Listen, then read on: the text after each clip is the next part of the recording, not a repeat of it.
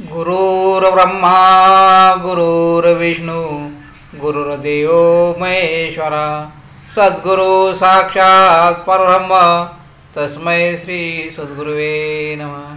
जय जय गुरुदेव दत्त. अवधूत चिंतन श्री गुरुदेव दत्त. श्री दत्त महात्म्य.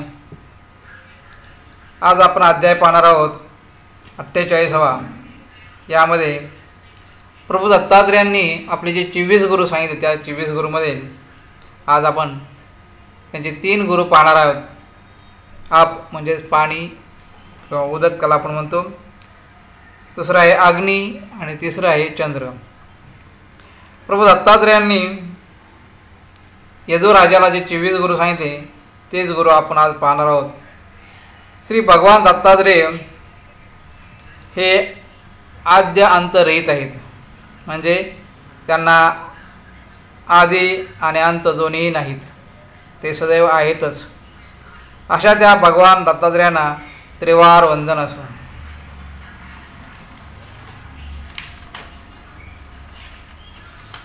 पहा आपल्या चोवीस गुरूंची माहिती सांगताना प्रभू दत्तात्रेयांनी मागील अध्यायामध्ये आपण पाहिलं की पृथ्वी त्यानंतर आपण तेज दुसरा गुरु म्हणजे वायू आणि तिसरा गुरु आकाश. पृथ्वी आकाश आणि वायू यांचं पाहिलं. आज आपण पाणी चंद्र आणि त्याचप्रमाणे तिसरा जे गुरु आहे ते गुरु अग्नी पाहणार आहोत. आपल्या चोवीस गुरूंची माहिती सांगताना दत्ता अवधूत येदूला पुढे म्हणाले हे राजा या जगात सर्वांशी सर्व काळ अमृताप्रमाणे गोड भाषण करावे. या योगे सर्वांबरोबर मैत्री निर्माण होते. उदक म्हणजेच पाणी. पाक कसे मधुर आणि स्वच्छ असते. आणि त्यामुळेच त्याच्याकडे लोक धाव घेतात. उदकाला आप अशी दुसरे नाव आहे. या अश्नुवंतीता अफ म्हणजे जे व्यापून राहते ते आप. आपल्या माधुर्यामुळेच आप सगळ्यांना व्यापून टाकते. मनुष्याने उदकापासून हा माधुर्याचा गुण घ्यावा. सर्वांशी गोड भाषण करून सर्वांना मित्र व्हावे. हे जल सगळ्यात पवित्र करते. हे कार्य करणारा तो कधीही कंटाळा करत नाही. माणसाने देखील स्वतः पवित्र राहून इतरांना पवित्र करावे. पाणी पहा. सगळा मळ तळात ठेवून वरून स्वच्छ राहते. कारण त्याला इतरांना स्वच्छ करायचे असते. दुसऱ्याला पवित्र करण्यासाठी ते पहा कसे सर्वत्र फिरते. वेळ प्रसंगी उंचावरून उडी देखील मारते. माणसाने पाण्यासारखे वागावे. या मलमूत्राने भरलेल्या शरीराचा मोह न धरता स्वतः आत्मज्ञान प्राप्त करून घ्यावे आणि नंतर इतरांना ज्ञान देण्याचे पवित्र कार्य करीत राहावे. त्यासाठी पाण्यासारखे फिरावे ज्ञानगंगा सतत वाहत ठेवावी.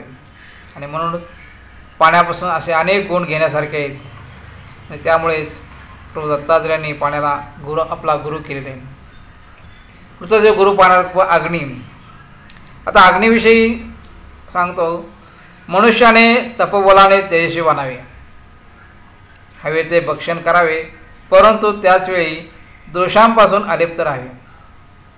अग्नी हवे ते भक्षण करतो परंतु त्याचवेळी तो त्याच्यातील दोषांनाही जाळून टाकून पुन्हा सोहळा होतो. दुसरे म्हणजे खायचे पदार्थ साठवून नाही ठेवतो. शिवाय आपल्या प्रकाशाने दीप्तेने तो अंधकार नाहीसा करतो.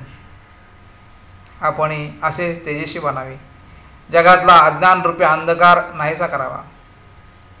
अग्नीप्रमाणेच नेहमी शुद्ध असावे. कशाचा संग्रह करू नये. आत्मा निराकार आहे. ही गोष्ट अग्नी शिकवतो. काष्टाला जाळताना अग्नी त्या काष्टाप्रमाणेच आकार धारण करतो. वास्तविक अग्नीला कुठला आला हे आकार?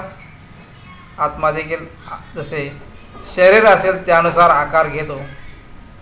वास्तविक तो मूळचा निराकारच आहे.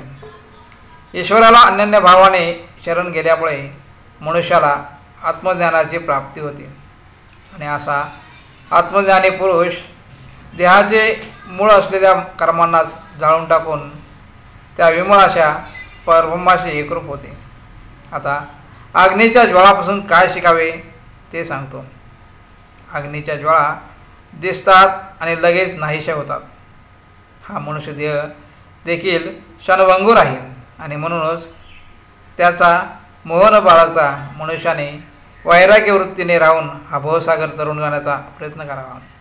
आता पुढचा जो गुरु आहे तो आहे चंद्र. आता चंद्रापासून काय शिकावे ते सांगतो. चंद्राच्या वेगवेगळ्या कला आपल्याला आकाशात पाहावयास मिळतात. शुद्ध पक्षात तो कलेकलेने वाढतो तर कृष्ण पक्षात तो कमी कमी होतो. वास्तविक पाहता त्याचा आकार आहे तेवढाच आहे. फक्त सूर्यापासून कमी जास्त अंतरावर गेल्यामुळे तो लहानाचा लहान मोठा दिसतो. जसे सूर्याच्या युतीत आल्यावर अमावस्या होऊन चंद्र मुळीच दिसत नाही तर सूर्याच्या समोर येताच पौर्णिमा होऊन तो पूर्ण स्वरूपात दृष्टीस पडतो.